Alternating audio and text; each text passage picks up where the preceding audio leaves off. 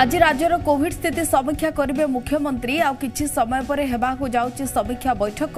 ମୁଖ୍ୟ ଶାସନ ସଚିବଙ୍କ ସହ ଉପସ୍ଥିତ ରହିବେ ଉନ୍ନୟନ କମିଶନର ଓ ସ୍ୱାସ୍ଥ୍ୟ ସଚିବ।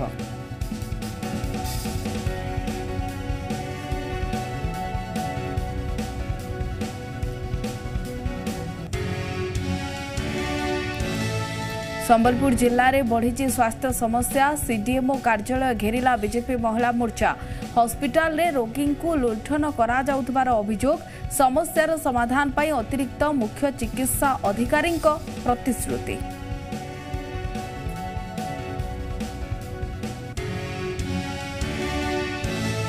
ସାମାନ୍ୟ ବର୍ଷାରେ ବେହାଲ ବିଦ୍ୟାଳୟର ଅବସ୍ଥା। ପାଣିରେ ପଡ଼ିଛି ତିନି ଲକ୍ଷ ପଚିଶ ଟଙ୍କା ଏବେ ବି ଛାତରୁ ଗଳୁଛି ପାଣି ନିମ୍ନମାନର କାର୍ଯ୍ୟର ତଦାରଖ କରି କାର୍ଯ୍ୟାନୁଷ୍ଠାନ ଗ୍ରହଣ କରିବାକୁ ଦାବି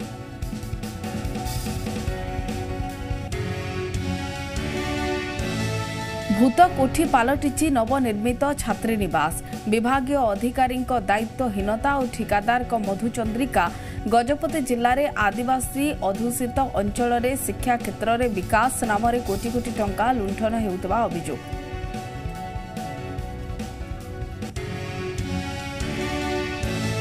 ଖାଦ୍ୟ ନାମରେ ଶିଶୁଙ୍କୁ ଅଖାଦ୍ୟ ଦିଆଯାଉଥିବାର ଅଭିଯୋଗ କେନ୍ଦ୍ରାପଡ଼ା ଜିଲ୍ଲାର ବିଭିନ୍ନ ଅଙ୍ଗନବାଡ଼ିରେ ଦୁରାବସ୍ଥା। ଅସାଧୁ କର୍ମଚାରୀଙ୍କ ପାଇଁ ଶିଶୁଙ୍କୁ ଦିଆଯାଉଛି ନିମ୍ନମାନର ଖାଦ୍ୟ କାର୍ଯ୍ୟାନୁଷ୍ଠାନ ଗ୍ରହଣ କରିବାକୁ ଜିଲ୍ଲାପାଳଙ୍କ ପ୍ରତିଶ୍ରୁତି।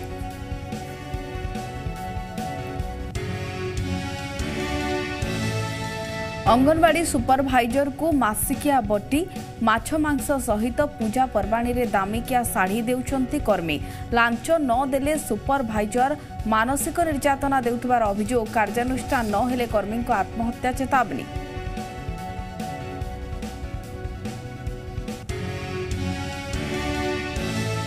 ରାଜ୍ୟରେ ଆସନ୍ତା ଚାରିଦିନ ପ୍ରବଳ ବର୍ଷାର ସମ୍ଭାବନା। ବିଭିନ୍ନ ଜିଲ୍ଲାରେ ପ୍ରବଳରୁ ଅତି ପ୍ରବଳ ବର୍ଷା ନେଇ ଆଞ୍ଚଳିକ ପାଣିପାଗ ବିଭାଗର ପୂର୍ବାନୁମାନ।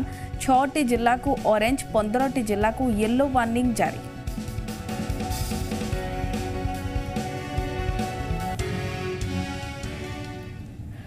ସମ୍ବଲପୁର ଜିଲ୍ଲାରେ ସ୍ୱାସ୍ଥ୍ୟ ସମସ୍ୟାକୁ ନେଇ ସିଡିଏମ୍ଓ କାର୍ଯ୍ୟାଳୟ ଘେରିଲା